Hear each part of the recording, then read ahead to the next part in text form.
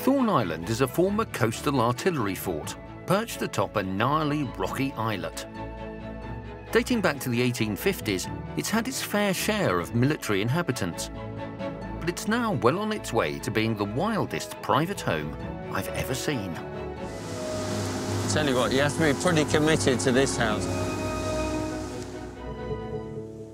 So this whole thing was built in two years. Um, there's over a thousand men involved in the construction, and everything that's you know got up here has been carried by someone.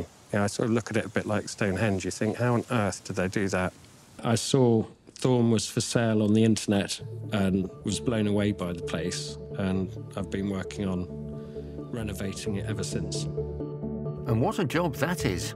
With no running water, no electricity, and no heating, Mike had to start from scratch.